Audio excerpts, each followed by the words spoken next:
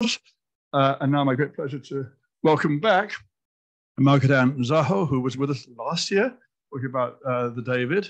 This year, she's going much more niche and into some original research. Um, Margaret Ann is an associate professor of art history at the University of Central Florida and comes to Florence, I think, every year for a period, and has certainly done a huge amount of original research and thinking and teaching and writing about Florence. So she's the ideal person to be giving a Wednesday lecture. So over to you.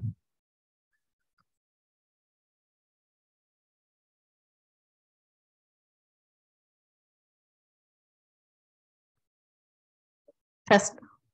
Now it works. Thank, thank you, Simon. Okay.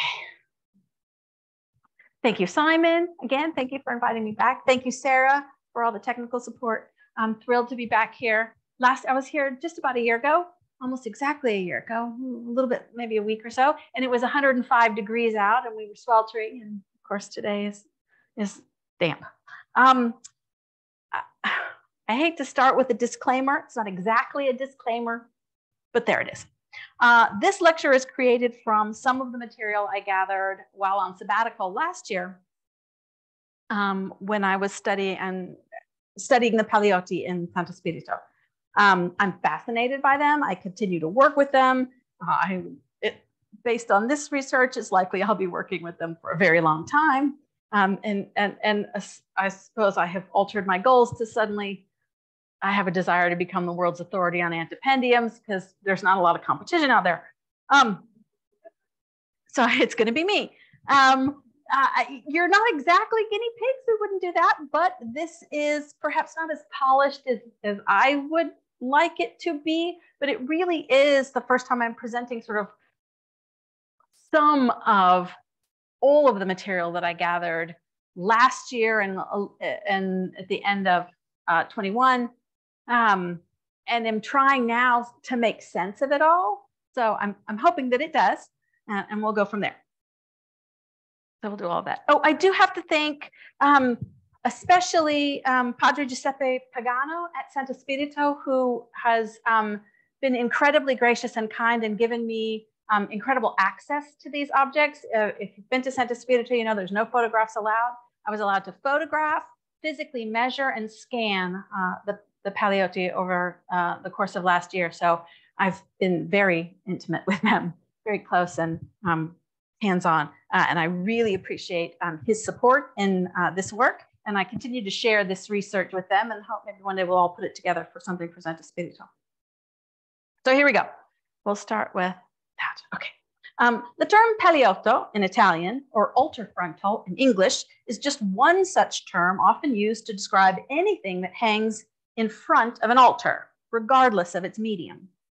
Other terms include, but are not limited to, frontal, pala, tabula, and antependium. Antependium is a Latin term which means to hang before, and it's the earliest term used to describe these objects. And generally, for clarity, I'll use that term antependium. You'll hear that word about 9 million times uh, in the next hour. So um, I'd also like to add here that the lack of scholarly attention to or information regarding antependiums as a distinct art form was to me surprising, uh, considering the vast amount of scholarship that's been devoted to altarpieces. Uh, though many of the objects we identified today as altarpieces were, in fact, I think, uh, probably antependiums, and they just got uh, moved. And I'm just showing you, this is a contemporary Paliotto just, or, or antependium, it just shows you what we're talking about when we're talking about hanging in front of uh, the altar. Uh, Cavallini uh, mosaic from uh, Santa Maria Trastevere in Rome. Just uh, really just to show you that uh, uh, a covered altar. In early church documents dated to around the fifth century, antependiums are referred to as a quote veil or drape that hangs before the altar. An antependium covers the front of an altar and is to be distinguished from altar linens, which are specifically used in the service of the Eucharist, and from altar cloths, which cover only the top of the altar table or mensa. An antependium is generally the same size as the altar and completely covers the front, occasionally also the sides. Uh, they can be made from various materials, such as fabrics, including cotton, linen, wool, or luxurious materials like silks, velvets, brocades. They can be made from elaborate materials such as ivory, metal, gold, and silver, or conversely from more humble materials such as wood. The origin of the altar frontal is difficult to trace, particularly because we have almost no knowledge of the treatment or decoration of the Christian altar in the first four centuries of its existence. It's important to remember here that Christianity was not legal until 313 with Constantine's Edict of Milan. And what we know of early Christian worship spaces prior to that is very limited uh, and mostly confined to what we now would call small private uh, community houses. However, from the fifth century or so onward, there is some literature and some archaeological evidence for the use of altar frontals to decorate the front of an altar. Palladius, uh, whose dates are 408 to 461, was an early church historian and the first bishop of Ireland. He was writing in the fifth century, and he stated that, quote, wealthy Roman ladies often donated their silk dresses to be used to form coverings for the altar, end quote. Uh, here I'm showing you a mosaic from the Church of San Vitale in uh, Ravenna, uh, dated to about the sixth century. And again, I'm showing you another covered altar. Uh, perhaps the best evidence for the use of an antependium um, for early altars comes from the mosaics in the Church of San Vitale in Ravenna. Uh, this one shows Melchizedek offering um, a loaf of bread and Abel um, a lamb on a covered altar. Um, and it's it appears to, and you see its little feet down here, so that it has um, a covering that is the size of the altar itself, and then it also has an altar cloth over the top because you see it already has that chalice. Um, veils of expensive materials were mentioned in the Liber Pontificalis as being suspended, quote, ante altar. Pope Leo III, um, he's the one that crowned Charlemagne in 800, just for reference, uh, is recorded as having given to the Church of St. Paul in Rome, quote, a red veil that hangs before the altar, having in the middle a cross of gold embroidery and a border of gold embroidery. Uh, end quote. Oh, Giotto.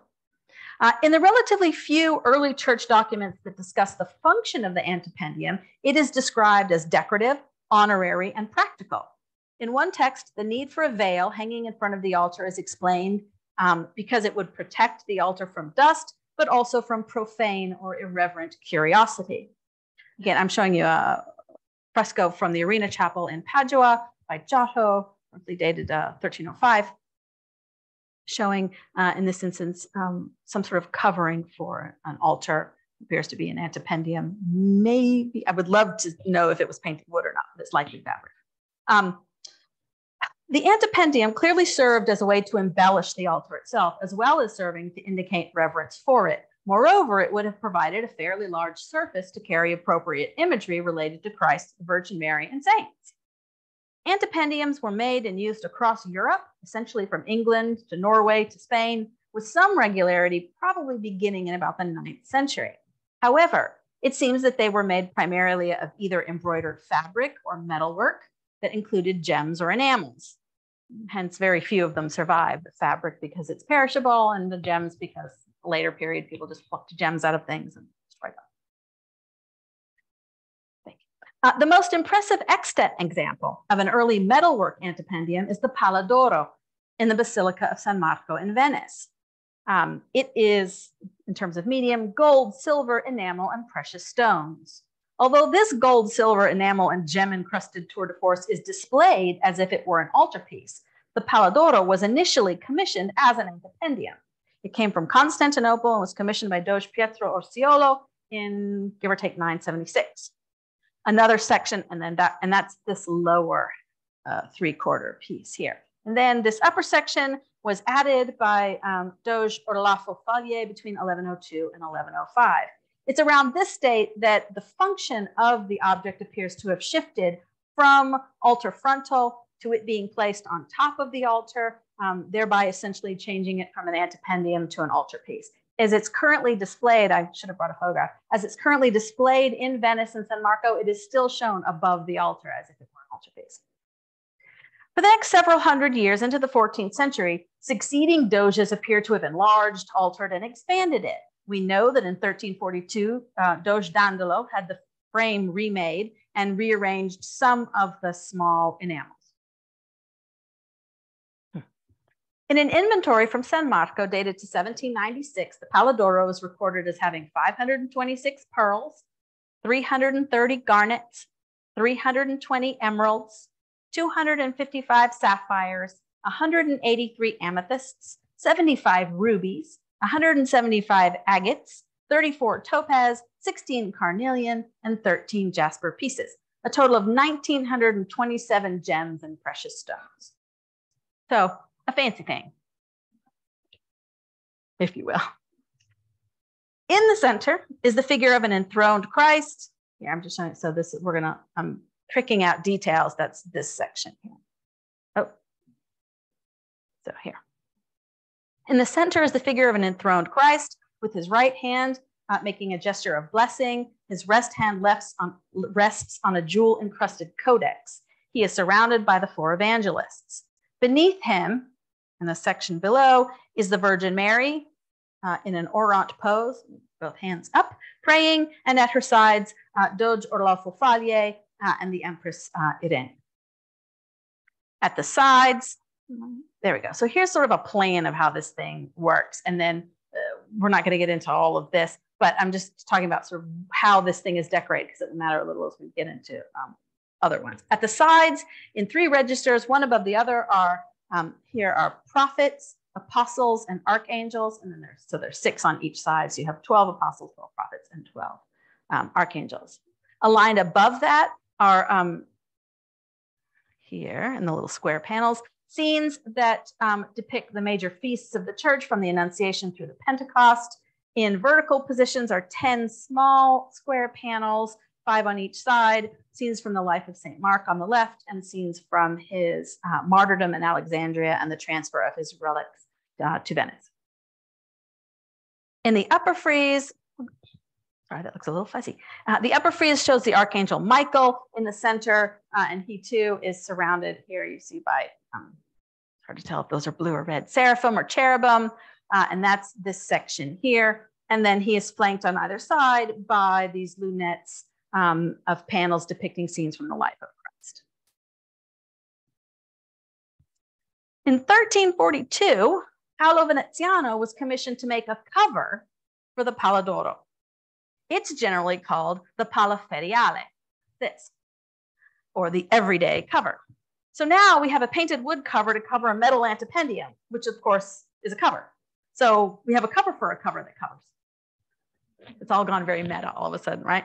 Um, but but that's what this is. They, they made a wooden cover. So anyway, the Pala Feriale is um, tempera on wood and signed and dated by Veneziano and his sons, Luca and Giovanna, uh, Giovanni, uh, April 22nd, 1345.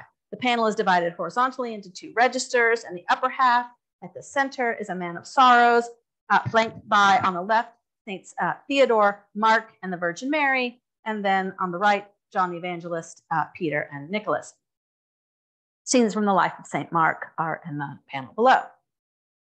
I would like to suggest perhaps it's this painted wood Feriale and not the Pala d'Oro that could serve as a kind of likely ancestor for the wooden antependiums that we'll see in Santa Spirito, because this is much closer, sort of stylistically um, and in terms of medium, to what we're going to see than the super fancy Pala d'Oro. Okay, back to antependiums in general. The location of the antependium, covering the entire front of the altar, made it an undeniable focal point.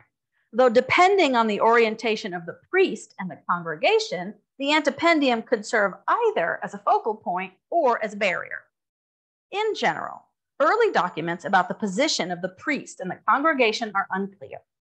It seems that in the earliest Christian houses, essentially before Christianity was legal, the priest or celebrant faced the altar with his back to the faithful. And this is just a reconstruction drawing. But here you see the celebrant, here you see an altar. He has his back to uh, the congregation. And this uh, drawing comes from, this is a reconstruction drawing from the Christian community house at Dura-Europos, uh, Syria. And the community houses there are dated to roughly about 250 um, AD, so uh, well before the legalization of Christianity. Slightly later, it seems that the reverse may have been true. The priest faced the congregation from behind the altar. This was a position called versus populum. Other early writings suggest that worship was not about which way the priest faced, but that worship was conducted in the east, ad orientem. So priest congregation um, doesn't necessarily matter if he faces you or you face them or you all face the same direction. For the church, apparently, what was more important was that it was ad orientem, that it was all facing the east or that you were located in the east end of the church. Nope. In terms of the antependium, the ad orient, orientium situation with the priest in front of the altar with his back to the congregation served not only to virtually block the view of the antependium, but the antependium now actually hindered the priest's ability to step in close to the altar. This often resulted in an antependium being removed from the front of the altar, either altogether or being placed on top of it. So that explains maybe why we get this shift. Uh, thereby, it becomes transformed from antependium uh, to altarpiece. Um, we know that this must be the case. There are a number of works that are uh, labeled altarpieces that are significantly damaged just on the bottom quarter of the panel, which would seem to be the effect of someone kicking it on a fairly regular basis in that lower quadrant, which would explain why, as having been in an antependium and a priest facing it, kicking the bottom of it. There's, there's more to follow. Um, in Italy, particularly by the 13th century, there's a marked increase in the production of enormous altarpieces. Uh, this is likely due in at least in major part probably to the mendicant orders and the building of exceptionally large churches, which resulted in the need for these kinds of altarpieces. So I'm just showing you uh, on the left, uh, Cimabue's um, altarpiece, and on the right, um, what's usually called the Rucellai Madonna by Duccio. They're both roughly dated 1285 or so. The Cimabue was done for Santa Trinita and the Duccio was done for Santa Maria Novella for the Laudesi. They both measure, well, the, du- the Cimabue measures 152 by 88 inches, and the Duccio measures 180 by 110. So they are um, really staggeringly large. If you've been to the, the Sala Dugento in the Uffizi, I'm sure you have, um, you get to see these two sort of facing each other. This becomes, oh, hold on, okay perhaps related to the use of large wooden altarpiece, altarpieces like these that dominated mendicant churches in the early 13th century, so too does it seem painted wooden panels become the most common type of antependium. um, difficult to say though, because of the small number of extant um, wood paliotti from that period at least. Here we go. Anybody read Norwegian? I need help. Um, the overall number, I'll explain, the overall number of extant painted wooden panels in Europe that date from the 13th to the late 14th century is roughly estimated at about 140 objects. Unfortunately, to date, there's no such number that reflects the number of painted panels from the 15th, 16th, and 17th centuries. I'm working on. It. The largest number of examples come from Norway and Spain. Italy, Germany, uh, Denmark, and England sort of make up the rest of that number. And so what I'm showing you here uh, on the top is a Norwegian example. Forgive any pronunciation here from Norway, a virgin and child from Tingelstad, Norway. Uh, it's on display in Oslo. Um, this um, uh, ant, uh, antependium uh, is um, tempera on panel and measures roughly 98 by 160 centimeters. The one below it is an example from Spain, um, from St.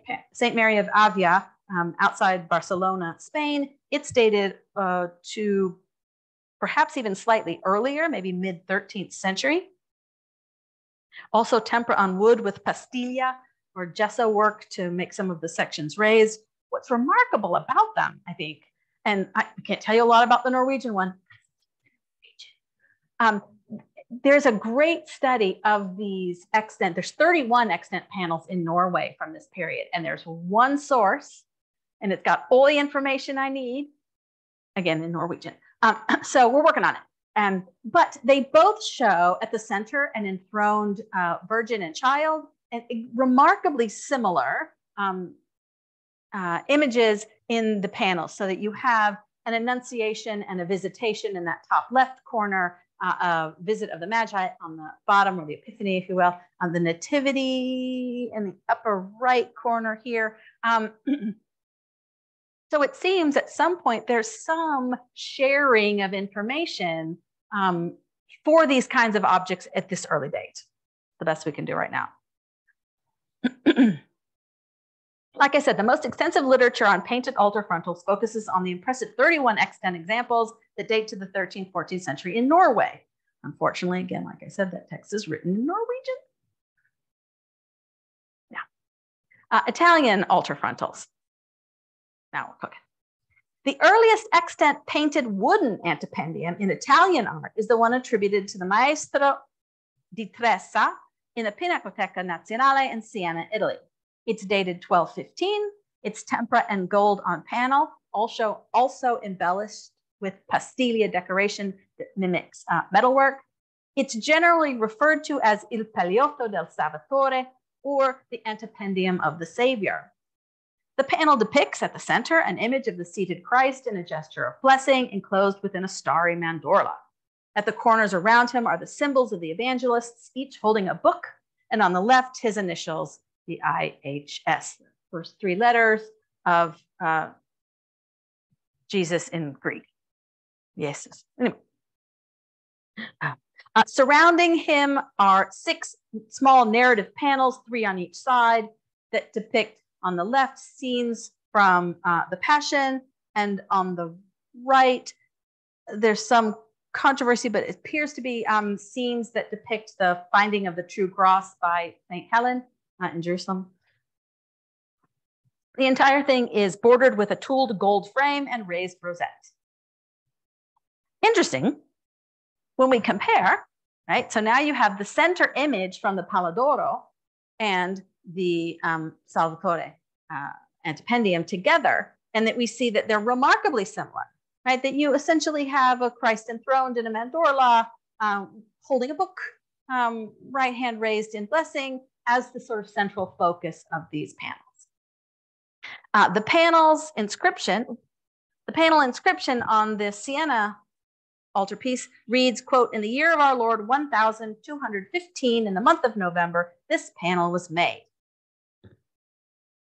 In his study of the Siena Antependium, Michele Bacci writes that the style and decoration can help shed light on the function and significance of early antependiums, particularly in Italy. He suggests that antependiums may not have been conceived as fixed objects, but rather as movable objects. He suggests that the function of the antependium was not only to decorate the altar, but was perhaps used in other ways or in other locations in the church, and it was intended to provide a kind of visual commentary on various traditions, saints, miracles, and liturgical feasts, as well as aspects of the church in which it was located. If in fact antependiums were not intended to be fixed decoration, it might help to explain why so few remain. If indeed they were being added and removed from altars in conjunction with the liturgical calendar and various events, then they would seem to be more the stuff of mere decoration, almost like stage scenery that would certainly explain why they may have had less of a chance to survive, in the sense that they've become understood as kind of movable decoration as opposed to permanent features of a chapel. The idea of portability certainly makes sense. For example, during the season of Lent, and more specifically on Maundy Thursday, when traditionally the church strips all ornaments, linens, and objects from the altar. This suggested portability of antependiums would then seem to impact the choice of decoration, so that we might expect a more universal subject matter that could easily encompass the changes in the liturgical calendar throughout the year, various events and feasts. So that decoration like this of the of Christ as the universal judge would certainly be appropriate in almost sort of any um, event. However, if an antependium was intended to be fixed, we might expect to see a more personal connection between the subject matter, the patron, its location. Um, and that's exactly what we have at Santo Spirito. So don't panic. We're not going to, there are 11 in Santo Spirito. We're not going to do all 11 because we'd be here till tomorrow. But this is just six of them. And I'm, this is just a quick comparison to show you that here we have the sort of Christ as universal judge, which you've seen already on the Pala d'Oro. And then we get to Santo Spirito, and none of them have that kind of imagery. They are instead, I think, intended to be fixed. And therefore, like I said, um, the imagery is much more specific to the patron and the chapel in which they're located. I will also, the disclaimer is all of these photographs um, are mine. They were all taken with the permission of Padre Giuseppe Pagano at Santo Spirito. I didn't have to run around and hide and take pictures. So just so you know, this was all permitted. The decoration of the wooden altar panels, at least the 15th century ones at Santo Spirito, do not depict universal subjects or seasonal decoration, but they are decorated clearly and specifically for their patron and their chapel. The extant examples at Santo Spirito reflect, in fact, a considerable diversity in subject matter, although style, size, and medium are fairly standard. This is undoubtedly due to the desire of the Augustinian founders at Santo Spirito for a kind of visual democracy within the chapels and for the chapel and for the church as a whole. So now, Santo Spirito, briefly. Um, the original design for the Church of Santo Spirito, laid out by Brunelleschi in 1434, was for a Latin cross basilica plan church with four entrance doors on the facade, a barrel vaulted nave, and 40 continuous side chapels that would have protruded from the external wall. And that's what you see here.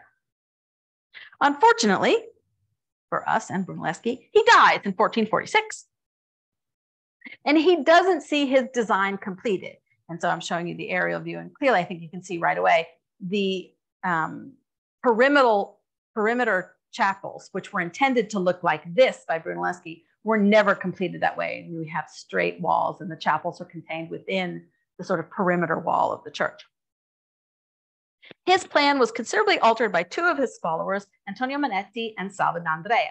I should also say here that for the history of the building itself, the records, the old church, the new church, the sale of chapels, I would recommend you to um, Rocky Ruggiero's brilliant book on Brunelleschi's Santo Spirito in which he does a very deep dive into every document that's available um, about every corner of this church. So I would, I would refer you to him uh, and that text, which is fantastic.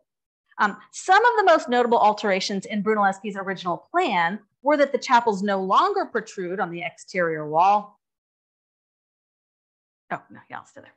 Um, uh, but are contained within a straight perimeter wall. Other significant changes are the shift, I'll show you here, so this is the interior nave, and I'm showing you just so that you see the chapel from the side.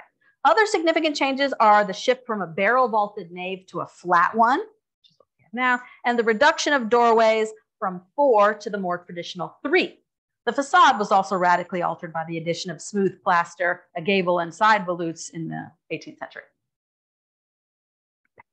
What is most significant for our interest here is the remarkable number of chapels in the Church of Santo Spirito. Though the exterior appearance of the chapels changed from the original design, the number did not. The number of chapels at Santo Spirito is 40, a significantly greater number than the other mendicant churches in Florence, such as Santa Maria Novella and Santa Croce, um, which I'm showing you here. Santa Maria Novella has four um, uh, East End chapels that flank the center altar, and um, Santa Croce has 10. We have 40 at Santa Spirito. To be clear, however, um, uh, both Santa Maria Novella and Santa Croce did have numerous wall altars along the nave walls. It should also be said that those two churches retain their essentially Gothic plans, while Brunelleschi Santa Spirito is designed uh, specifically in the new Renaissance style. Okay, don't, don't panic. Um, uh, this is, okay, we're not gonna do all this.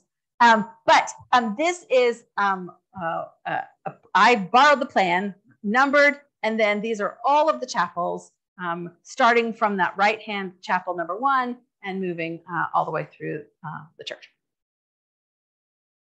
Um, yeah. The dramatically increased number of private chapels at Santo Spirito would have meant greatly increased revenue for the church since the church was largely financed by the sale of those chapels. Chapels, by the way, um, regardless of their location in the church, cost 500 florins. And this is when you go down the rabbit hole researching. Um, and I'm like, so what does that mean exactly? Here's what that means. Um, uh, in comparison, because if you start chasing around how many soldies were a florin and what was the rate of exchange and all that, it gets it gets a little dicey. But I can tell you that um, Uh, Michelangelo was paid 3,200 florins for the whole of the Sistine Chapel ceiling, but that took him four years and he had some expenses to come out of that. So just uh, as a sort of, and um, in terms of wealth, the average household based on the catasto, which is the tax in Florence in 1427, um, the average household um, earned, uh, hold on, 38 florins in a year, um, and then less in the country. So the average sort of working person earning 40 or so florins a year could never have imagined the expense of 500 florins for but one of what would, would have been these um, family chapels. Um, I'll also point out, and again, I, I refer you to Rocky Ruggiero, who's done a brilliant job with this, who also discusses the quartieri. These are the um, families of the Oltre Arno, of the district around Santo Spirito, um, and who have major palaces and positions there, um, including and still Frescobaldi and Antinori uh, and uh, the rest. Oh, no, not yet. The staggeringly large number of chapels, 40 again, um, may have been the impetus for the Augustinians to impose a kind of uniformity on these chapels. The reasons for this uniformity, though never expressly articulated in any document, at least thus far, were perhaps in part to underscore the architecture in the building, as well as to control families from visually asserting through opulence superiority over one another. And that matters because um, unlike other mendicant order churches, every one of the 40 chapels here are essentially the same size and essentially equidistant. So that there's no sort of, as if you're familiar with Santa Croce and the Bardi and Peruzzi families, purchasing the two chapels closest to the sacristy because there's the scale of them is slightly larger than others, as is the Baroncelli on that right-hand transept. Um, it gives them some sort of one upness. In this case, every chapel's the same. They're the same size, they're the same distance, and they cost the same. So there's already a kind of built in democracy, if you will, in terms of how these chapels are being relegated.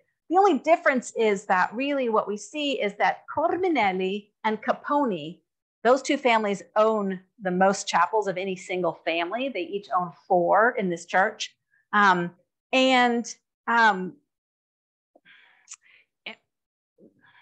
We'll see in a second, the Corbinelli own these four. They're the only family that own contiguous chapels.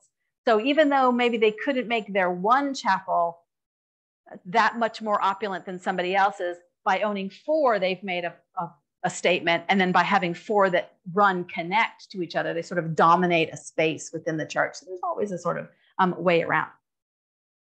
Um, Ruggiero does a really good job of discussing um, not only the um, the families that bought these chapels, but the quartieri in Santa Spirito and who's represented, who served as operai, um, and how they got um, chapels. And I will just say that um, uh, uh, 23 and 24 are um, Frescobaldi chapels.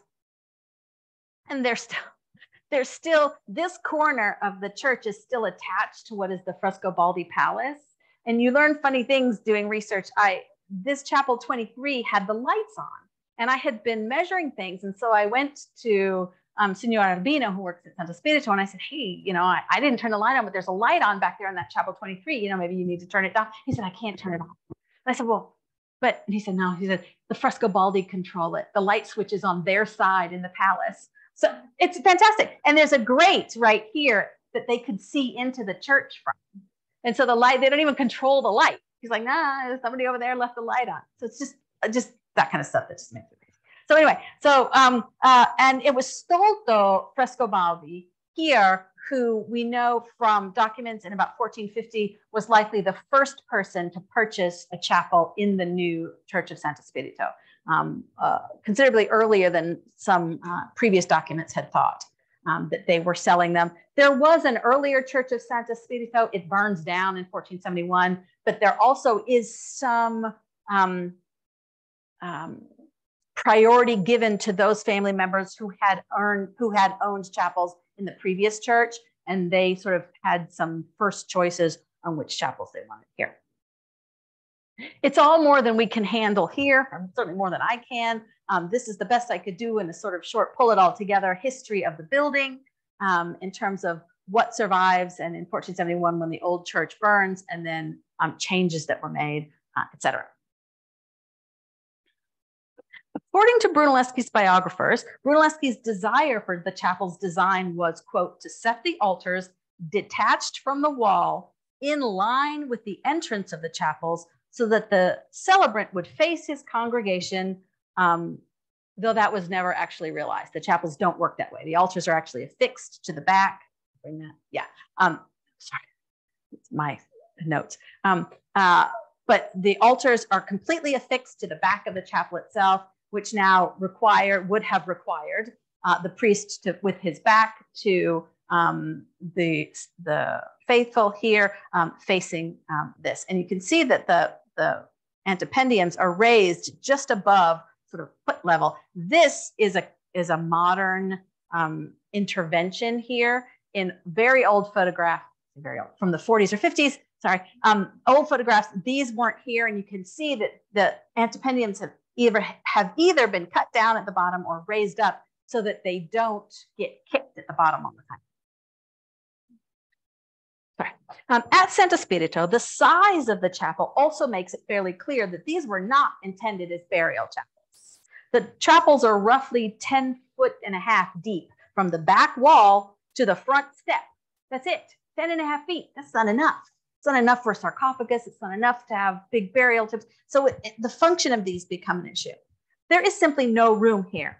Therefore, the primary function must have been memorial, dedicatory, and of course, to serve as symbols of civic and familial piety. This too, I think, is important in the question of why would you have wooden paliotti here or antependiums? If the chapels had been intended to serve as the primary burial chapels for these, the wealthiest Oltrarno families, they would have spent more.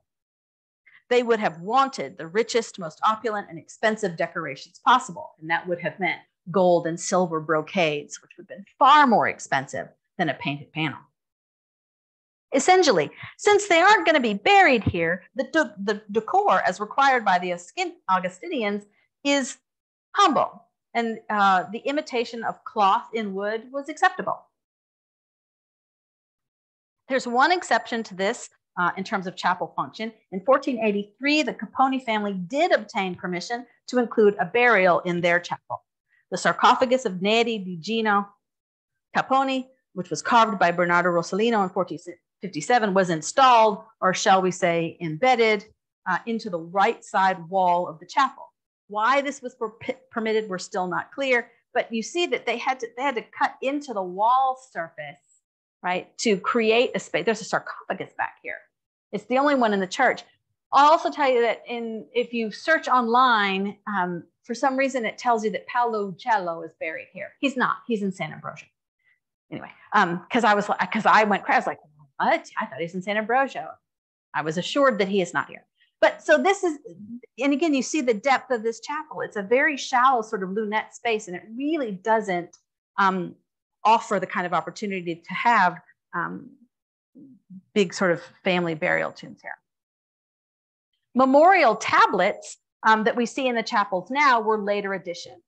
They were not permitted until the 18th century, and burials at Santo Spirito um, were reserved for the cloister. This is the Chiostro dei Morti um, at Santo Spirito, and you can see, and there are some of these are more contemporary, and then some of the older ones, they're actually on the opposite wall. You can see some of the old uh, 15th century stemma. Mm. We'll try that. Let's see. Gleaned from various documents, it seems that the Augustinian rule for decorating a chapel was basically as follows a square altarpiece um, with a Marian theme, a wooden paliotto painted so as to resemble cloth, a stained glass window, and an altar curtain to be used to cover the sacred image. And this is where things get interesting. It seems that, and there is evidence in some of the chapels, that an iron rod would have been stretched across the front of the chapel and a curtain hung so that it obscured the chapel and its decor, um, except on certain feast days. And I'm just showing you, this is, I borrowed this from a, a fabulous lecture that was given here by the woman who runs the St. Mark's Church. Um, she gave a, talk on the altarpieces at Santo Spirito, and I, I, borrowed one of her panels, so I thank her. Um, but I'm just showing you that this was sort of the design for each of the chapels. They had a, a tall lancet window. They were allowed to put a singular stemma, a painted coat of arms of the family, and then this space would have been reserved just under the window for a square altarpiece and the antependium. And then this I'm showing you, this is just a reconstruction drawing uh, or engraving from Saint Denis, but it shows a, an iron rod with a curtain hanging on it. So that this is not, this isn't new at Santo Spirito. Um, and I have looked to see at the chapels at Santo Spirito, and there are apparently what appear to be marks that would seem to support the idea that there were uh, iron rods so that these things would be sort of um, revealed and um, concealed uh, as necessary. Oh, let's do that for a minute. Did it, did it. Additional regulations for the altarpieces stated that it could not mm. include a cimasa, cusps, or lateral wings. These are unique directions since those decorative elements were common aspects of large scale altarpieces at the time. It's perhaps precisely because those additional elements would have rendered the altarpieces too elaborate, too luxurious, that they were not permitted. And I'm just showing you Gentile da Fabriano's um, Strozzi altarpiece that was made for Palla Strozzi in um, 1423. It's signed and dated, thank goodness. Um, and it has all the doodads, if you will, right? Um, it has the um, cuspids, it has the arched um, top, it has uh, images, uh, Cimasa would be um, the top or the head, usually a roundel decoration. And you can see it, it appears much more elaborate, right? This kind of framework. And none of the altarpieces at um, Santo Spirito were um, permitted to have it. Coats of arms were acceptable decorative elements, and family stemme were permitted both on the interior and, interestingly, at Santo Spirito, on the exterior of the church. So um, the stemme were also acceptable decoration in frames, altarpieces, antependiums, and on chapel ornaments and vestments. And I'm just showing you the ex. This was one of the sort of interesting features at Santo Spirito. Is unlike um, any of the other mendicant order churches, the stemme of the family that owned the chapel on the interior also put their stemma on the outside. So if you're just passing by and you wonder who the Richie Richies are that have a chapel in Santo Spirito, you don't even have to enter the church, right? You can just walk along the exterior outside and go, oh, there they are. And in this case, um, I'm showing you um, uh, uh, Nasi and Nerli family uh, crests, which are on the exterior. So you really made a sort of very civic statement at this point about um, there's no mystery involved with who owns what where um, as it's uh, displayed on the um, exterior. Oh, no, sorry. Mm. Uh, private chapels, even under the Augustinian restrictions, were still visual expressions of the donor's piety, charity, and generosity. They reflected a desire to be memorialized and commemorated and to underscore the patron's position within the community as a leader and benefactor. So now don't, don't, don't panic. This is me trying to figure it all out. Um, so I've been working with this. These are my uh, measurement. I use one of the digital ones. Just, um, uh, measurement of every paliotto in the church, height, width, and depth. And then um, uh, yellow uh, means there's no paliotto at all, which either means it's missing, it's gone missing, or it's in a chapel that either never had it, or in a later chapel, in which case the altar has changed and there's no need for them anymore. But so this is me sort of trying to work things through. Still me. Of the 38 decorated spatial chapels in Santa Spirito, and I say 38 now because we know there's 40, right? They're numbered to 40, but two are doors, right? Um, six and 35. Six is the portone that goes to the exterior on the outside, and 35 goes to the vestibule. So we don't count those. So there's 38 chapels that are decorated here. Of the 38 decor- of the 38 decorated chapels in Santa Spirito, um, 23 have altars with some form of antependium. 11 of them are painted wood antependiums from the 15th century. So this is my little list of which chapels, and then my little yellow marker made these nice marks so you can see these are where our 15th century antependiums are. Um, the rest, and we'll talk briefly at the end about the, the rest of them. Um, but um, you can see, uh, I think what's most impressive is this sort of west side here. 27, 28, 29, and 30 are all Corbinelli. Um, they've really made a play for this end and then sort of where these are dispersed. And I, I, I have no explanation yet on why they're all at the, what would be called the testata, right, the head of this church, as opposed to some of these lateral chapels. Um, these have all appear to have had fairly significant intervention um, and have later antependiums and things. But so those are our 11, 15th century, and that's them. Again, no panicking. But it just gives you a sort of quick visual of, again, the diversity of subject matter here, but also the kind of um, remarkable sort of homogeneity of some of them in the use of this sort of roundel portrait, which really is uh, has as its ancestor what's called a my mind doesn't work um, a or clipeus, which is a Roman sarcophagus type of decoration with a roundel at the center with a bust portrait of the deceased on the front of a sarcophagus. Um, but in this case, um, a variety of different subject matters, but what unites all of them, except odd one out, mm-hmm. and they've got this one labeled as 15th century, but I'm not buying it. Um, uh, is other issues. Um, they are um, almost all question marks. Um, also reflect in one way or another that that original Augustinian idea that they have to be fabric or they have to look like fabrics. Remember, fabric would have been by far the most expensive, most luxurious choice. And had they had the opportunity to choose that, we assume that most of these families would. They would have been heavy silver, gold brocade, but they still, it's still there. So we'll take a look at a few now that we've come this far. Uh, like I said, 23 altars have some form of antependium. 11 of them are 15th century. Two have marble altars, and 13 chapels have no type of antependium at all. Of course, the examples that I'm most interested in um, are these 11 that date primarily to the 15th and very early 16th century. They include as subject matter, back to this one, um, uh, the Holy Trinity, Doubting Thomas, St. John the Baptist, St. Jerome, St. Bartholomew, St. Luke, St. Francis, St. Lawrence, and Mary Magdalene, and then one non narrative again, this, this is he's this one's the bane of my existence at this point. Um, interestingly, none of the examples at Santo Spirito depict a Christ in majesty. Unusual because this, at least of what we've seen so far, was the most common subject from early frontals, both in Italy, Spain, and in Norway, and had already been established by the Siena Paliotto and the Pala d'Oro. None of these have that at the center.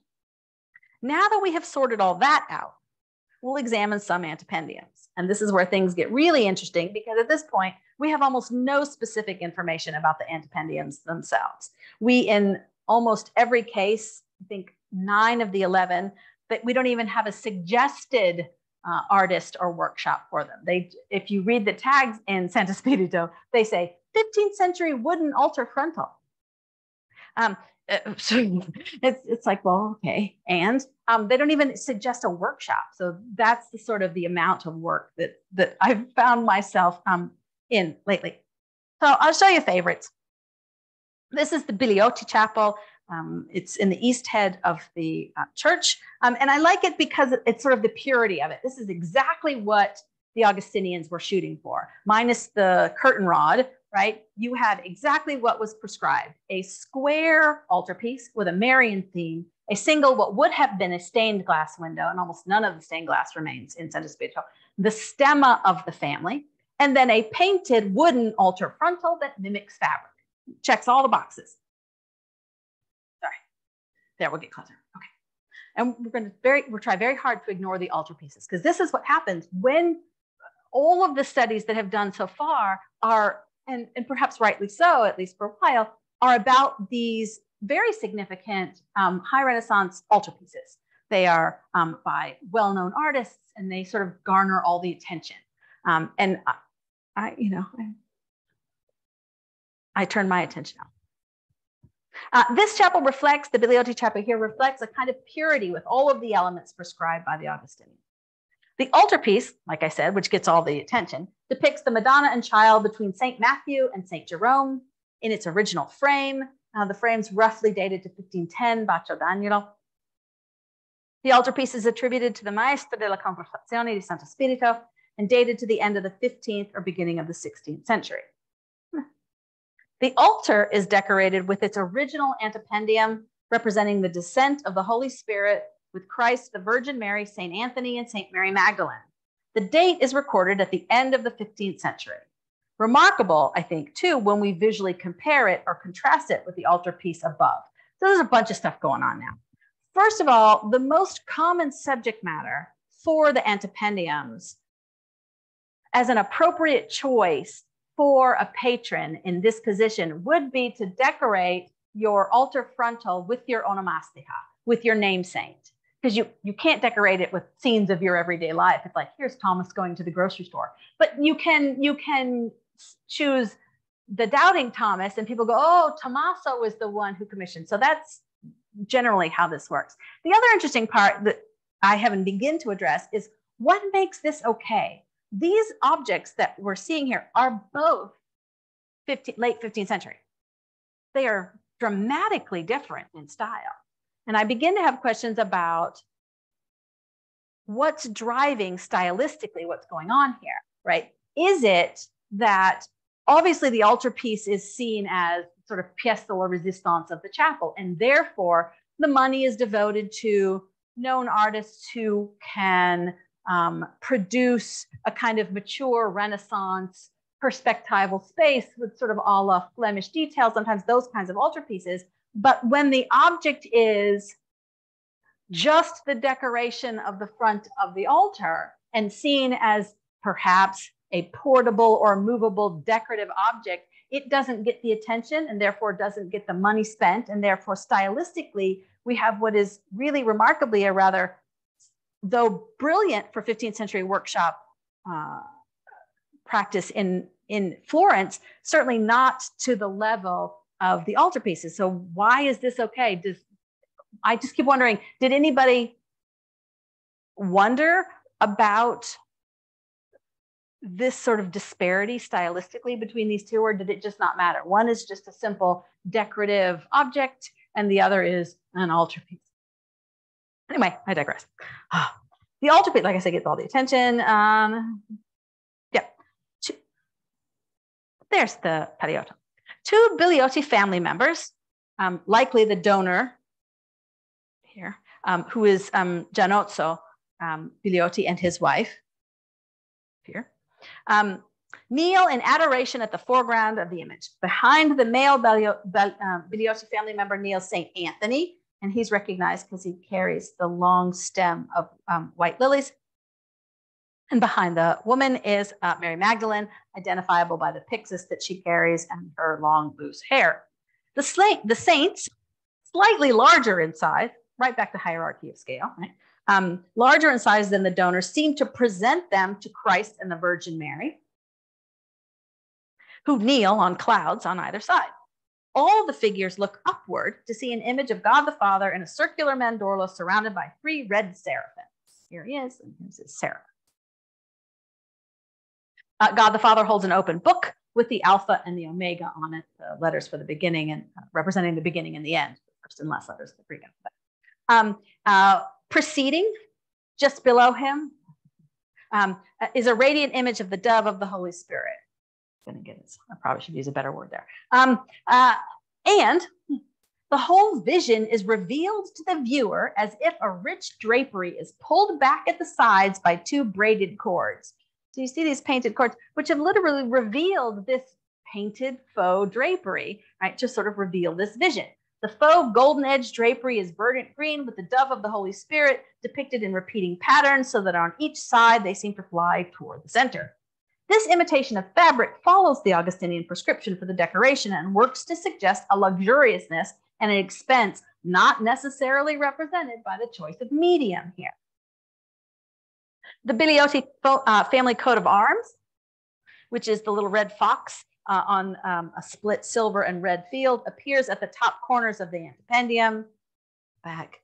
Um, and he's here and then it's here as well. This also tells you very quickly visually in a chapel, is everything there that it's supposed to be? If the stuff on the altarpiece and the altar um, frontal or the antependium have the same stemma as the stemma in the chapel, you know everything's where it's supposed to be.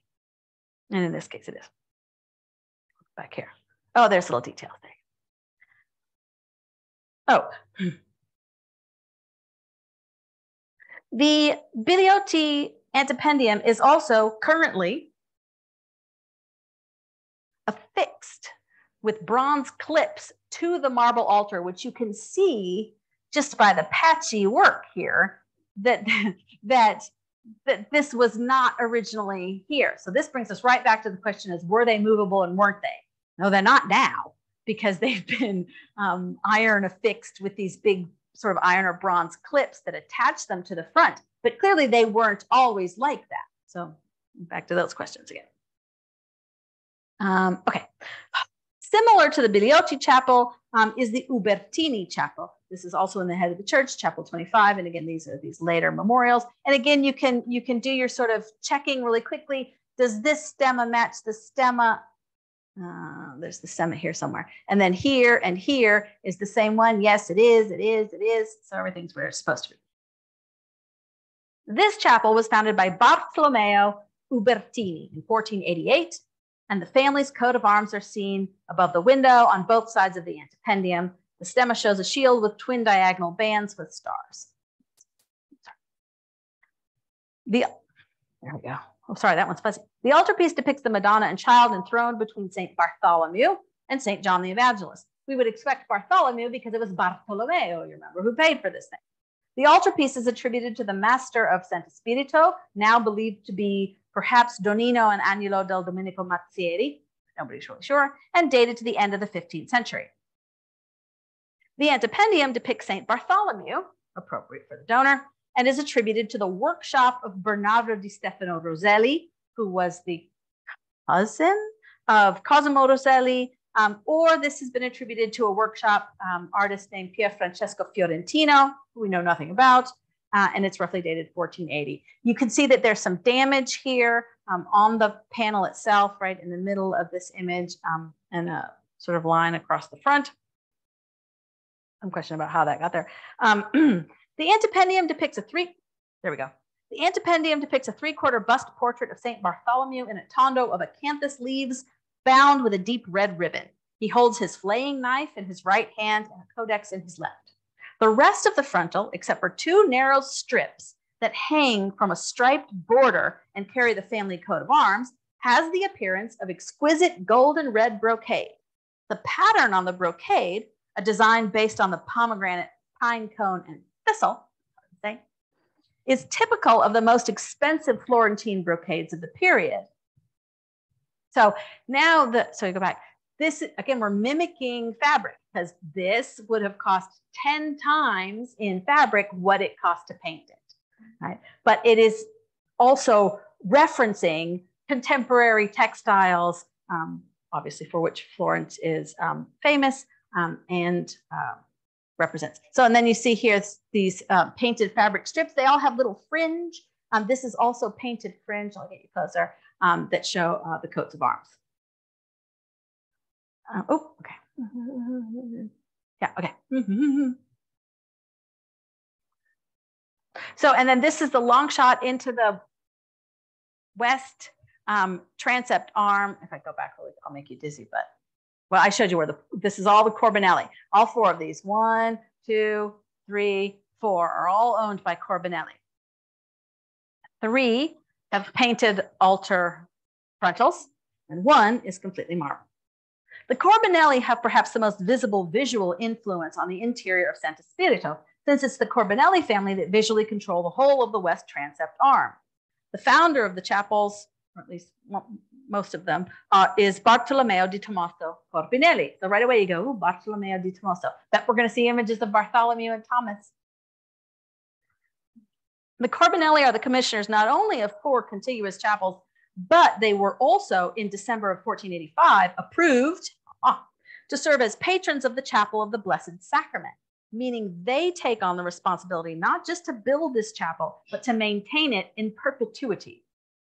Um, maybe not a surprise since the Corbinelli had held that same privilege in the old church of Santa Spirito, but they, they um, unlike all the other chapels, theirs, this gets to be all marble. Here they get to spend some money.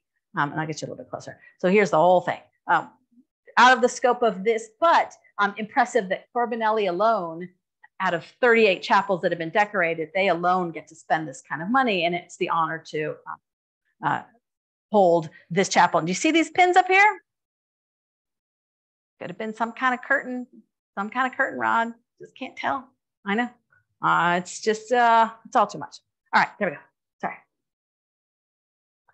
Uh, take responsibility. Okay. Did it, did it, did it, did it. And like I said, they're the only ones that own um, uh, continuous chapels, uh, one next to the other. The Capponi family also own four, but they're separated throughout the church. In um, this chapel, the Corbinelli, um, the there we go. The altarpiece depicts the Virgin and Child enthroned between Saints Thomas and Augustine. The work is dated to 1482 uh, and believed to be the work of Cosimo Rosselli.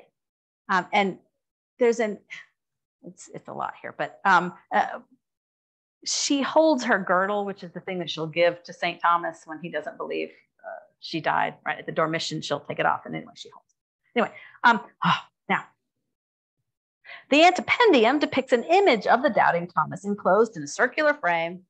There we go. At the center of the panel. Thomas on the left reaches out to touch the wound in Christ's side, while Christ raises his arm above his head, offering him access, access to the womb. 18 white doves, each wearing a radiant gold halo, representing the Holy Spirit, decorate the surface of the panel in six vertical rows surrounding the central tondo. On either side, hanging like vertical silk banners, um, uh, uh, are fringed strips of painted cloth that show the stemma of the Corbinelli, the salient stag. I had to look it up. Um, salient in terms of uh, coats of arms means they stand on their two hind legs and the two front legs are up. Who knew? Um, above at the upper edge is another painted row. There it is, a painted row of fringe uh, in red, blue, and white. Again, the continuity in the chapel is made clear by the stemma that appears not only on the antependium, but also on the predella of the altarpiece and above uh, in the stemma of above the window. So it all, it all, see, so here's Corbinelli, Corbinelli, Corbinelli, Corbinelli, Corbinelli on the altarpiece and then Corbinelli. So it really is um, for all that sort of democratization of it. And here I just, I just love, I can't, I can't help but love the stemma. Sometimes the stag has his tongue in. I don't, I don't know why, I can't tell you, but I just um, and then again, here you see this paliotto again, again uh, fixed to the surface. And then as I'm measuring these, I'm also trying to um, understand, I'm not a conservator or restorer, what kind of condition they're in. Relatively speaking, to my relatively untrained eye, they're not in really bad shape. It's dry. The wood is poplar wood, which re is resistant to wormwood. So you don't have the little worms, so you don't have a lot of the holes. Um, what I what looks to me to happen here is that the original Paliotto was maybe an inch or so thick and that it's been double backed onto another piece of wood at some point, but I can't be sure of so many things. On the other side of the marble chapel of the Blessed Sacrament is another Corbinelli chapel, this one funded by Bartolomeo's son Matteo, and this one dedicated to the Mary Magdalene. Um, this is also not surprising since the Corbinelli had a chapel in the old church dedicated to the Magdalene, and that might explain why we simply have another uh, dedication uh, here as well. In this chapel, the altarpiece, there you go, depicts um, uh, what's easily described as a Holy Trinity. It is more specifically a throne of grace image for another lecture, which appears as if it a vision between the kneeling figures of St. Mary Magdalene and St. Catherine of Siena no, sorry, St. Catherine of Alexandria. Um, the um, altarpiece is attributed to Agnolo Mazzieri, question mark, um, and is, um, again, a, an altarpiece of the sort of highest quality of the late 15th century with um, very specific nods to kind of Flemish detailing from the Portinari altarpieces here. Um, uh, Florentine artists are having access specifically and directly with Flemish art. And so that all reflects here, but we're going to ignore it because we're interested in that. Um, the antependium depicts a three-quarter portrait view of the Magdalene inside a tondo frame. The Magdalene holds a pyxis that just ever so slightly appears to project forward as it breaks the confines of the tondo frame. The background in the tondo is a classicizing, scrolling acanthus pattern, while the body of the panel is painted in gold and burgundy in a Florentine floral and thistle motif. Like in the Tommaso Antependium, the Corbinelli coat of arms are displayed on two vertical hanging strips of cloth. The strips are dark, with yet another arabesque pattern, uh, painted gold borders, and painted fringe at the bottom. Oh, and there she is. Uh, she's had some repainting, clearly. Um, but all in all, again, relatively good shape. Um, again, these are mostly fixed to the altar behind. Uh, there's just some details of this one as well. Um, uh, a singular space, and you see these are roughly three. This is an American, or I do inches. Um, uh, three, three and a half inches or so, and then trying to understand if there is any sort of program for the kind of decoration because we've seen so many of these. Um, it's all about the same. The body of the work is six eighths of the total, and then the, the last quarter is divided evenly between two sort of friezes at the top. Oh, okay, hold on. So uh, you'll be happy to know we're at final thoughts. The other painted 15th century antependiums in the church all follow these basic formats in one way or another, either by either a revealing of the opening of a fictive curtain or another roundel bust portrait of a saint. That gets us to not having to look at all 11 of them. Um, so some final thoughts and I know, yes, that's supposed to be here. Um, this was just a sample of the antependiums in Santo Spirito and the information that exists, or the lack thereof, that I'm encountering in this research. These remarkable works of art have been ignored, in my opinion, for far too long. Perhaps it's simply the lack of concrete information about them that's led to this, and the difficulty, if not impossibility, of attributing them to a specific artist. But I think they represent the best of the Florentine workshops of the 15th century. That said, they have left me with more questions than answers. In terms of style, why is it acceptable for a patron to have an altarpiece of the highest possible quality in terms of a developed and mature Renaissance style, while a more workshop static, almost icon-like style is acceptable for an antependium? Question mark. Does this underscore the idea that the medium and the style was often relative to the object decorated? Different styles for different levels of importance. This isn't a new idea. Right? And I'm showing you the altar of Domitius Ahenobarbus from Rome, dated to 122 BC. I have a reason. Um, and the reason is these two panels uh, are supposed to have come from the same monument.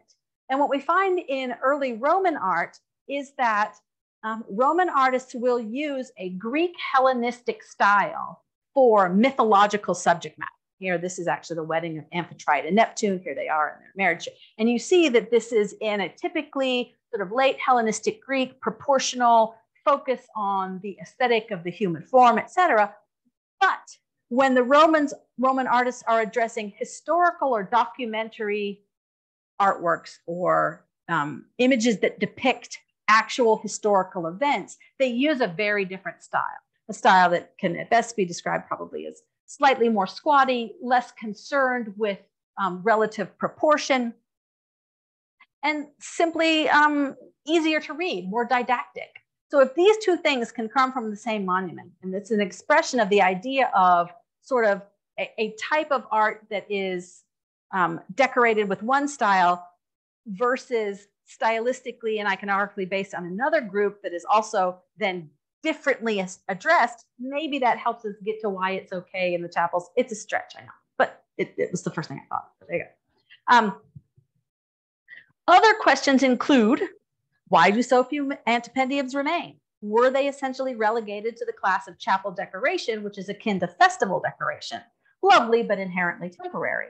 Other questions arise when we view the later 16th to 18th century antependiums in the church. Later antependiums were no longer painted on wood, uh, but instead are painted on canvas that's then attached to wood. So it's even sort of cheaper, right? Because canvas at the time was, was not considered a permanent material, right? That's why the Primavera is on panel and the Birth of Venus is on canvas. She was party decoration. The Primavera was the anyway, whole nother lecture. Um, oh, sorry, um, I digress. But um, so does that have something to do with it? Later antependiums fall into two decorative categories. Either they mimic Baroque silk fabrics with more universal subject matter, or uh, they mimic pietra dure work, things are getting interesting. So um, just so you, so I can point this forward a little bit. Um, this is an example from the Segni Chapel. The decoration dates to the late 16th, if not early 17th century. And it seems now, and here's its antependium, we have a whole nother ball of wax. We have canvas on, and you can see the canvas pulling away from the edge of the board behind it. Um, um, and now uh, the imitation sort of brocade uh, desire is gone. The antependium has a scroll and flowering vine um, sort of um, design with a tond, well, a, shield, if you will, at the center with a depiction of perhaps um, a figure of Christ or at minimum an Orant figure. I think he once had a halo. I think this has been overpainted, but um, hold on a thing. The style uh, of the imitation fabric here is clearly different. The lighter colors, the open scroll work suggest a lighter fabric altogether, like silk, and a design pattern more in keeping with French taste of the period of the courts of Louis XIV. In other antependiums, oh, there's, there's our Orant. See, look how smudgy it is right here. I think he had it. Anyway, or in other antependiums, like this one from the Lanfredini Bini Chapel, the antependium no longer mimics fabric at all. Fabric has just been tossed aside. Now, um, this art form, and this is still canvas on wood, looks strikingly like inlaid pietra work. This art form, considered like painting in stone, would have been extremely expensive and very au courant in the mid to late 16th and 17th centuries, since in the 1580s, the Medici opened a school in Florence for the advancement of this technique. By the 17th century, we're moving quickly now. Um, by the 17th century, it's clear that the strict adherence to the early Augustinian directions for what antependiums needed to look like is over. Late antependiums, when commissioned, now reflect a variety of decorative choices, though it should be said that by the 17th century, altar tables, like this one, had simply changed shape and no longer required an antependium at all. And then in the 18th century, the whole point becomes moot when in 1797, Napoleon suppresses the Italian religious orders the end. At this point in my research, I'm struggling to feel as if I've achieved much of anything at all. The subject is just so big. I have at least photographed, scanned, and measured all the antependiums in the church. I've tried to begin to make some sense of them and how they relate to each other in terms of context, patronage, authorship, as well as um, other matters that I still have to contend with. I would like in the future to focus solely on the 11th, 15th century painted wood antependiums and the workshops that they may have been involved with or their creation, question mark. My goal perhaps is achieved though by at least having shed some light on these overlooked works of art and beginning to develop an approach to further examination. Thanks. Thank you very much. Fascinating. I've often looked at, with, looked at them with admiration, and now I know a lot more about them. So Good. thanks for that. Um, so we will open up the uh, conversation by bringing our Zoom audience to visit us. Here they all are. Hello, Zoomers. How are you? We can now see your thumbnails in the room. If you want to see your faces, you'll have to put on your videos. Um, so as always, we now have a question and answer. And if you want to have no answers. if you want to raise a question or make a comment in the room, just put your hand up and I'll bring you the microphone so that the Zoomers can hear you. And those on the Zoom, you can either put something in the chat or you can unmute and talk to us. We always like to hear Zoom, Zoom voices. Um, whilst you're thinking about it, we have a comment um, from Nancy Shearer. She says, well done. Now I want to go and revisit all the many dozens of churches in Italy. I have visited and paid more attention to all the elements you pointed out and explained. Thank you, especially for all the details about the fabric versus painted surfaces. So that's one. You're so welcome. Thank you. That's that's part of the goal. That yeah. that now hopefully that if you've all been to Santo Spirito and you'll go back with a new eye and look For at sure. the things that you hadn't paid any attention to. I think that alone at this point I'm going to take as a win. yeah, very good. Okay, anyone in the room got um, something they want to contribute? Okay, on the Zoom, oh, there's stuff, more stuff coming on Zoom. Um, no, there isn't. Yes, there is. Con uh, from Amalaya. Congratulations on your very original research. Despite an MA in art history, I don't recall ever noticing these fascinating altar fronts. There you go. So there's another convert. Thank yeah. you. I, I, I've noticed them often because I think they're beautiful. And I particularly like the various ones where the curtains have been drawn Love back, revealing all sorts yes. of interesting things, including one which has got an, uh, a view of the um, Palazzo Pitti. Yes, uh, when, it, when it was still the Pitti before the Medici took it over. And as you can see, it's quite a small uh, palazzo compared to what Second the Medici chapel at the head of the Yeah. church. Yes. Yeah.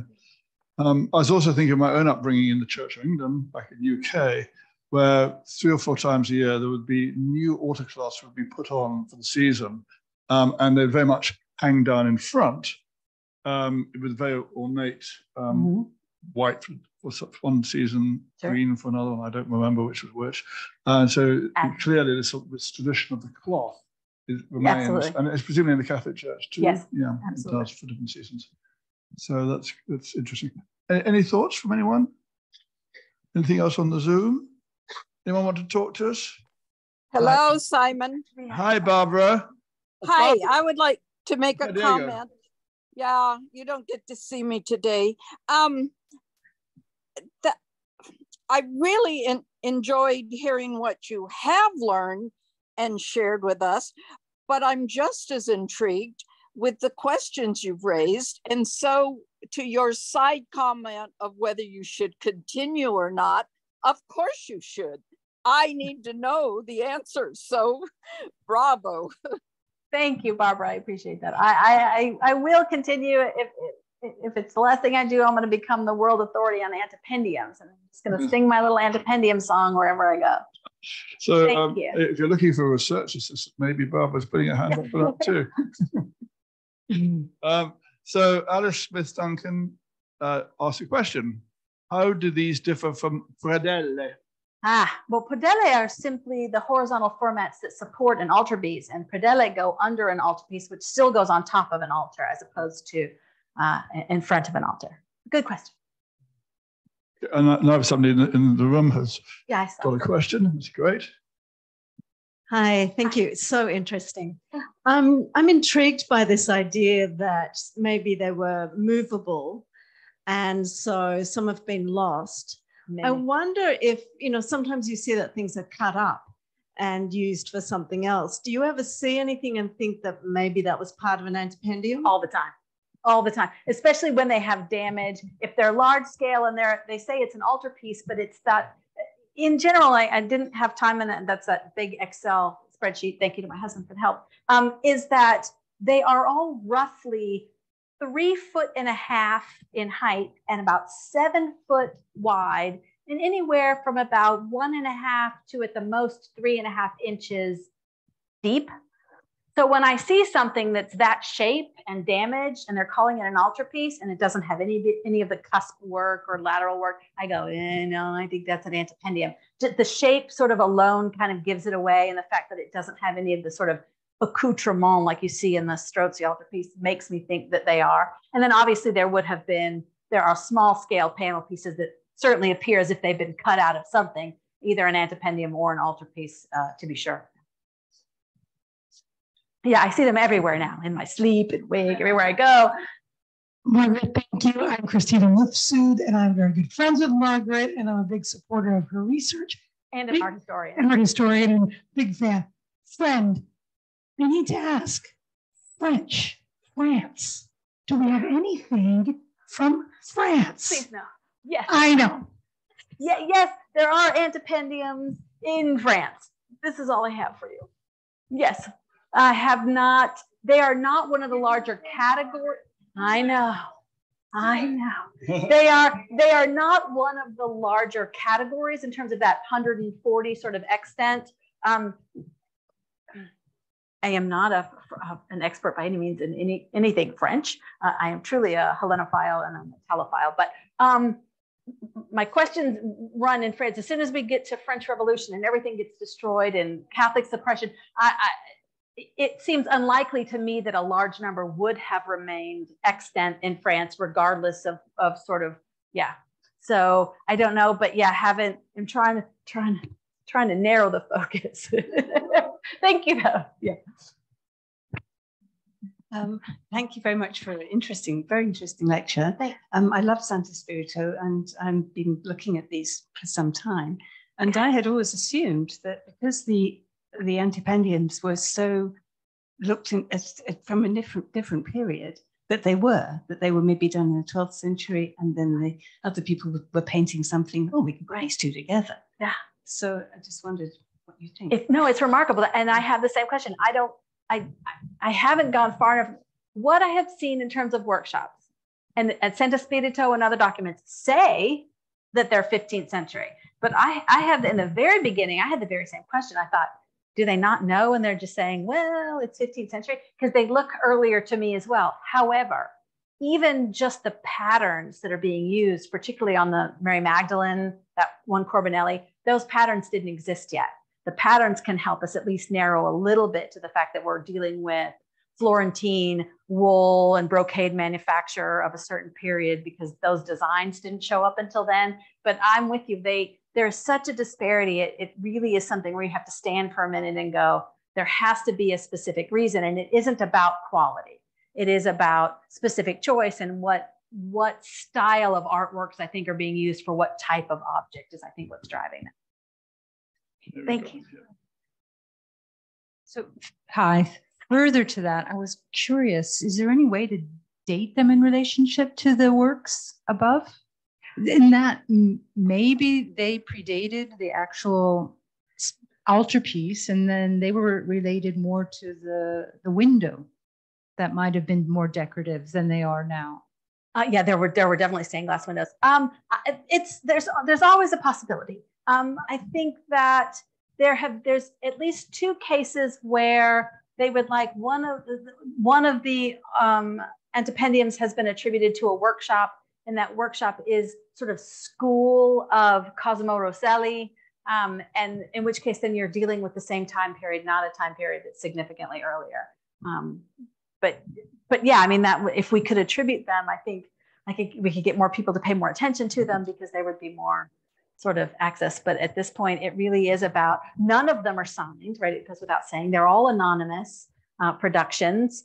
Where did they come from? Did they come from a workshop studio near to um, or akin to whoever's creating the altarpiece? I don't think so. I think that really is the stuff of small, you know, workshop studio stuff in 15th century Florence versus masters of large altarpieces complement the altarpiece, or could they have created an important altarpiece? Could they have been just put up there to give the altar an initial?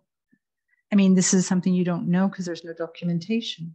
But the the fascination for me is would they could have been in tandem or could they have predated the actual altarpiece? Because no. they super good question. Because when I first when I first started, one of my first questions was, were my first thought was did the did the antependiums come from the earlier church and they were they you know survived the fire of 1471 and away right and, and, and yeah rescued. Except for the patterns we have some dating issues they can't be that much earlier because the pattern of that that one pomegranate thistle not a pine pine cone thing i would say pineapple a new world um, uh, didn't exist yet but my thoughts were exactly the same. Were the Paliotti something that had survived maybe from the 1450s in the earlier church and simply got trans? But one would wonder with families like this and this kind and the kind of money being spent, would they not have wanted content? You know, would they not have commissioned at the time in the chapel those things together? I can't. I can't tell you. It's a great question though. I know I consider the same thing. Did, did, they, you know, maybe they, they were in a warehouse and they all got saved from the fire and somehow then they all got moved because that would make more uh, sense. Uh, we're, we're, beginning to run out of time, but I know I've got two more um, questions in the room. There's a comment on the Zoom, which we'll do afterwards. And I think that has to probably be it. And then we can continue the conversation over wine for people who here. Tom. Thank you for a very interesting talk. Um, very quick question. Do the families continue to maintain the, the spaces or are they in the case of Frescobaldi, yes. Um, uh, and I believe Antinori does as well, but I haven't even pushed the, my document research to that late date. But the light that goes on and off in the Frescobaldi that's only controlled by them certainly um, relates to the fact that those two chapels and that the chapel where the light they can't turn off also has an iron grate in the front of it. It's the only chapel, it's the only uh, Paliotto that I haven't measured because nobody has a key to it. Even Padre Giuseppe Pagano doesn't have a key to the iron gate in the Frescobaldi. And those two Frescobaldis together were actually originally intended to be um, memorial burial chapels for the men uh, and for the women in two separate chapels, but they appear to, they still have some, they, they're the only ones with access to it apparently, and they have the light that goes on and off. So Frescobaldi's still involved. Um, uh, into the 18th century, yes. Post, again, the suppression of the religious orders here, I don't know how much money was then continually spent because most of the memorial plaques that you see, the ones that are decorating the side walls of some of those chapels, all date to roughly um, 1820 to 1860 or so. And then there's really not anything later than that. So I, I can't answer more questions. Good question. I'm curious about what's inside the box that's made be- with the altar and the pendendium. Oh, the, the Pala Feriale. Yeah. Nothing, there's nothing in it. There's nothing just- there. No, it's just Just empty. It's just a cover for the cover to be covered. and is there anything? Are they painted only on that front surface and that's Yes, it? Pala, the Pala at least in terms of the Pala only on that side, and all the antependium that I've showed you that I'm aware of are only painted on one side yet, because I can get behind the ones in Santo Spirito and they have nothing. in back. Okay. Um, just to wrap it up, um, Nancy Shearer has come back with a huge, great swipe of a huge part of Italian decorative art by saying, I've always wondered about the use of one material to mimic another, like vinyl floorboards made to resemble wooden floors. Everyone can see that it's not the real thing, so why bother? So there goes the whole of Tram- trompe l'oeil in the in the um, Baroque period and all Well, it's but it, but I think it's part of the, the Augustinian prescription that said no, because you can imagine you have 40 continuous chapels that in their equal in their architectural equality provide a kind of democratic situation in the church in and of itself architecturally. And if you had, as often happens with these families vying for sort of opulence and you know who spent more, they would have become visually more than one could have handled. And the fact that they're so shallow and they connect to each other visually, would have been, I think, overstimulating, perhaps is not the right word, but um, for those chapels to have been decorated like that. And for the Augustinians, who again are a mendicant order, right, um, who, who are kind of prescribing, yes, we respect the aspect of the sort of civic and, and, and familial piety that happens here, but we want it done with some composure. And so rather than allowing them fabric, which would have cost 10 times, and then you get into questions of wealth and then abundance and overspending, you can have you can have fabric, but it has to be painted. And so it was a way of keeping everybody equal, I think. also allows the workshops to show off their virtuosity. Um, and uh, thanks for the fascinating talk. And thanks again to the Institute for continuing to make these available online. Our pleasure, Liz. Uh, Diane Archibald, who works partly on the UNESCO World Heritage, says, have you ex- accessed the archives of the families for your research? Nicely done. That's phase Not two or yet. three. Well, yeah, for a year, almost two Right. years, the Archive Stato here in Florence was closed. Uh, and I also yeah. just want to say hi to Ari, who's um, on the video there, because I got your email, and we're going to see you here in person next week for Jason. I love it when Zoomers when Zoomers descend from the big screen into the room in a magical kind of way. So we'll we'll whistle you through the uh, cyberspace and into the room next week, Ari. So uh, look forward to that, and look forward to all of you joining us for Jason Articles next week on Ponte Santa Trinita. And it just remains to thank very much to Margaret Ann for that really interesting sharing a piece of living research ongoing. We have, for the second time in the last couple of months, we've got a world expert. Nobody knows more about the Paliotti than Margaret Ann.